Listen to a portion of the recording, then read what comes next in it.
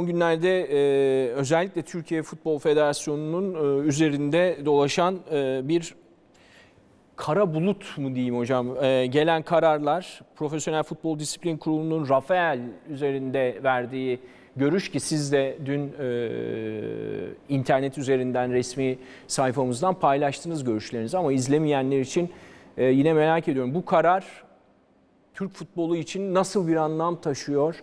Bugün Fenerbahçe Kulübü'nden, yönetim kurulundan Metin Sipahioğlu çok e, sert diyor? açıklamalar Ben yaptı. E, bizim site- siteye koymuş arkadaşlar. Yani kirli düzen başlığı altında bir e, konuşma. Galatasaray dediğiniz gibi kulübü e, bir tepki gösterdi. Nasıl yorumluyorsunuz bu? Şimdi kararı. e, Metin Bey'in ne söylediğini bilmiyorum ama 3 aşağı 5 yukarı tahmin ediyorum. Ben açıkçası da katılıyorum ona. E, dün Rafael'in e, kartları iptal olduktan sonra e, kendi sosyal medya hesabından ben pek sosyal medya kullanmasını bilen bir insan değilim. Benim bir tane sevdiğim Samsun'da bir kardeşim var Kürşat diye. O zaman zaman kullan, yani o Aracı. aracı çok da kullanmıyorum. Sosyal medya kullanıcılarının da doğru dürüst yazdıktan sonra saygım sonsuz. Ee, evde de bizim Ersin var arkadaşım. Ya bir çek dedim. İnan yedi kere falan çektim. Duruyor zaten. Şimdi bunları niye anlattım? Biraz önce Odu TV'de okudum ve birkaç tane de e, sosyal medyada eleştiri vardı. Mehmet Ertaş da dedi ki hocam bir video koydun sildin ya dedi. Bu biraz hani eleştiri konusu oldu dedi. Haksız değiller. Ben gerçekten e, iyi bir sosyal medya kullanıcısı değilim. E, o konuda biraz özürlüyüm. Ama bir hataymış o. Masumane bir hata. Yoksa ben bir şeyden korkarak falan değil insanlar bizi tanıyor. Evet kirli bir karar. Bana göre kirli bir karar. Bana göre operasyon. Hani bu kelimelerden korktuğumuz zannetler de aslında bilirler beni de. Ee, şundan dolayı ben niye üzülüyorum? Benim bir beklentim yok. Ee, ben işimi, gücümü yapmaya çalışan bir insanım. Ne federasyondan antrenörlük beklerim, ne yöneticilik beklerim. Ha Türk futbolunu ben mi kurtaracağım? Tabii ki ben kurtarmayacağım. Ama Türkiye'de her platformda, her platformda ama istedikleri kanalda o bana sallayan da dahil olmak üzere kim olursa olsun şeffaf bir şekilde ben tartışmaya da açığım tabii. Hoş ben insanlarımızın bu kadar e, sıkıntılarda bizimle uğraşmasını istemem.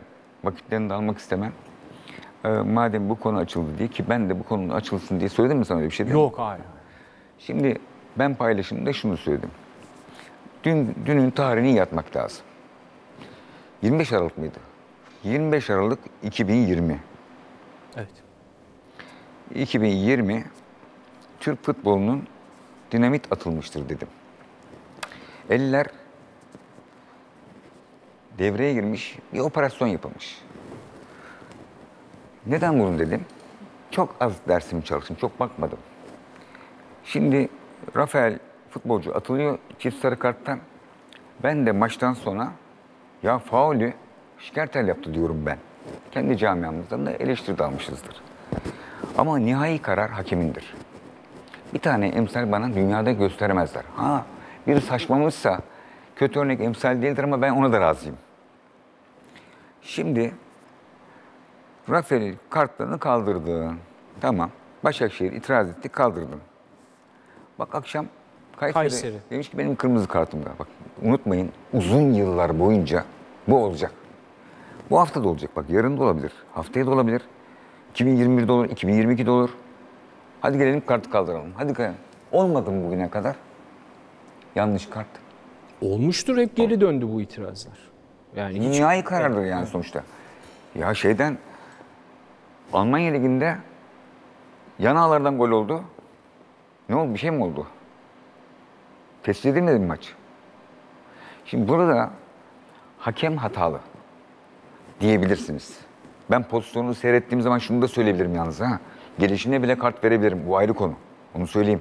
Sonradan gördüm. Ee, şimdi bunda bir özür kabul edebilirsiniz yani. O günkü yorumunda ben şikayetele yaptığını yanlış adama kart gösterdim ama onun gelişi de şikayetlersiz baktığınız zaman soru işaretli benim için. Sarı verilir verilmez. Bu ayrı konu.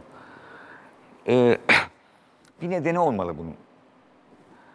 Ee, şimdi Başakşehir yarın Kasımpaşa oynayacak. Bu Türkiye'nin en güzide kulüplerinden bir tanesi Başakşehir Kulübü tamam mı?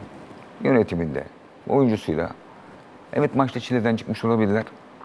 Rafael yarın oynamasa ne olur abi? Ne olur ya? Başakşehir iki yıl önce çok dayak yediği maç var. Hiçbir şey konuşmadılar. Şimdi itiraz ettiler. Tamam, güzel. Bir tarafta Karagümrük Galatasaray maçından sonra Fatih hocamızın diyor ki ben şey istiyorum diyor. Vuruşmalı istiyorum diyor. Evet. Oku- Savunma okudum, istiyor. savunma yapacağım diyor. Üç farklı kategoriden bir maç, iki maç, üç, iki maç ceza Evet, verdi. 1-2-2. Şimdi tabii ki kurulların raporlarını hoş gazeteci arkadaşımız da var da hani Tahir gazetecilik yapmış almış raporunu. Gerçi aradaki sözleri boyalı, boya yapmış da karar vereceksiniz. Şimdi siz bir oyuncunun kartını kaldırıyorsunuz. Yarın da oynayacak veya oynamayacak neyse.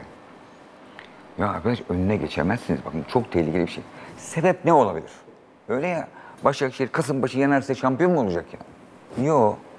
Çünkü ben e, dilimin şeytanı yoktur. Hakaret etmek istemiyorum. Türkiye'de bir düzen var hocam. Bak Selçuk Dereli mesela bir şey atmış. Bir arkadaşım gönderdi.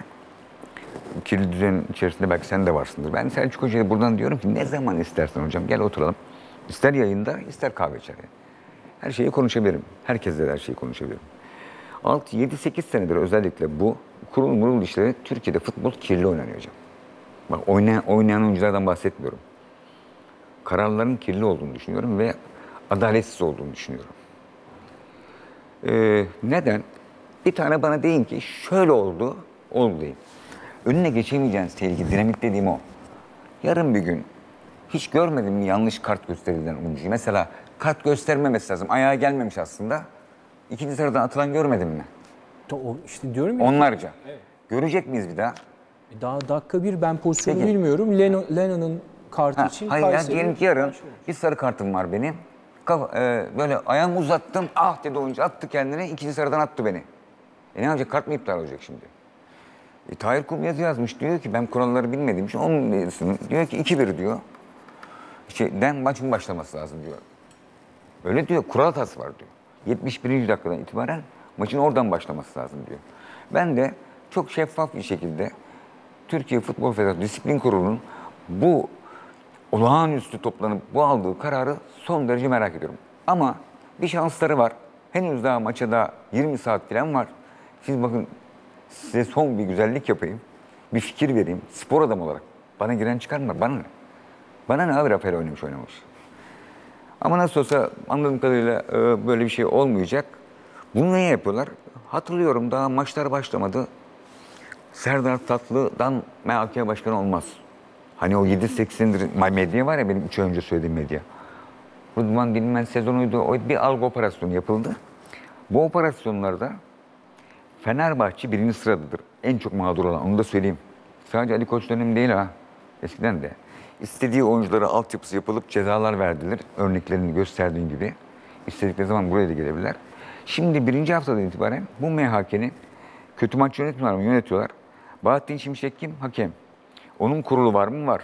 Kim? Serdar Tatlı ve ekibi. Beğenmediler mi? Biz de beğenmedik. Hiç beğenmedim hem de. Cezasını verir. Dinlendirir mi? Ne yaparsa yapar. Peki onların sorunu. Sözde disiplin kurulu şey, ne derler? Bağımsız. Peki MHK kime bağlı veya o hakem kimi temsil ediyor? Sayın Nihat Özdemir ve Federasyon. Burada TFF yazıyor. Nasıl olacak? İtiraz etmiyorsun. Demek ki abuk subuk işler oluyor bu işlerde.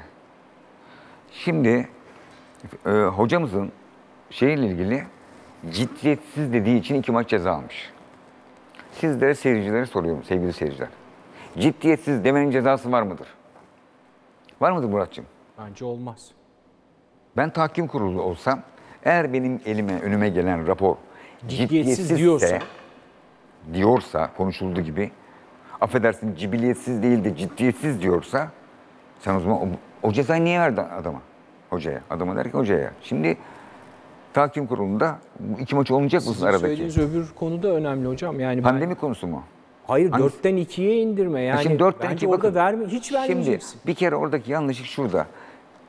Siz protokol tribüne de test yapın. Evet. Şimdi siz eğer Ahmet Ağal'ına, Sayın Ahmet Ağal'ına 15 gün maç verirseniz siz Fatih Terim'e iki maçtan fazla veremezsiniz. O onunla ilgili. Onun için Ama onun savunmasında bence hiç vermemesi lazım. Yani dördün sıfır olması. evet sıfır olması lazım. Ha indi aşağıya tartışmaya devam etti onu bilemem. Ama Ama şimdi nedeni oysa savunması olmaz. raporlar eğer Böyle geliyorsa önüne. böyle böyle geliyorsa söylenecek bir şey yok. Nasıl geldiğini isterlerse denesinler. Koysunlar sitelerine. Ne var bunda biz aklı devi değil ya. Sonuçta hepimiz insanız. Hakem raporu, temsilci raporları konur. Rafael'i şu şu yüzden kaldırdık derler. İnsan kamu vicdanı da rahatlar. Ee, biraz önce bir şey söyledim. Ben bir gün Aziz Yıldırım'a söylemiştim. Alex'i 20 yaşında çağır. Beni de canlandır 20 yaşında. Olamazsın şampiyon dedim. Yaşıyor işte. Çünkü görüyorum ben tabloyu, görüyorum. Bak bunda Fenerbahçelik falan da yapmıyorum, yanlış anlama. Zaten Fenerbahçeliler eğer bizden Başakşehir'in e, hakkını yedi dediğim zaman bana sallıyorlarsa zaten siz Fenerbahçeli değilsiniz. Ben doğru söyleyen insanlar benim için e, doğru söylemeye de devam edeceğim. Ama bu polemiklerle ilgili de sürekli algı, algı, hedef ne biliyor musun? Yıllardır idare ettikleri kurulları idare edemez hale geldiler. Hata yapan, yanlış yapmayan MYK yüzünden bak hata yapan, istediğinizi atayın, istediğinizi atamayın. O yönetici olsun, o olmasın. Kurulları ellerinizde, görüyorum onu. Geçen sene aynı cümleyi söyledim. Yastıklara kafaya koyup nasıl uyuyorlar diye. Ahmet Bey'e verilen az cezadan dolayı. Ki Ahmet Bey de hakkını helal etsin ha bir şey demiyorum. Süleyman Urma'ya da 150 bin yapıştırıyorsunuz. E, Fatih Hoca'nın şimdi eğer e, şeyleri, e, raporları, raporları da eğer şeydeki Tahir Kum'un yayınladıysa çok tehlikeli. Ama yok değilse, hoca bu lafı ettiyse, benim ciddiyetsiz lafı ettiyse niye adamcağızı ceza verdiniz hoca?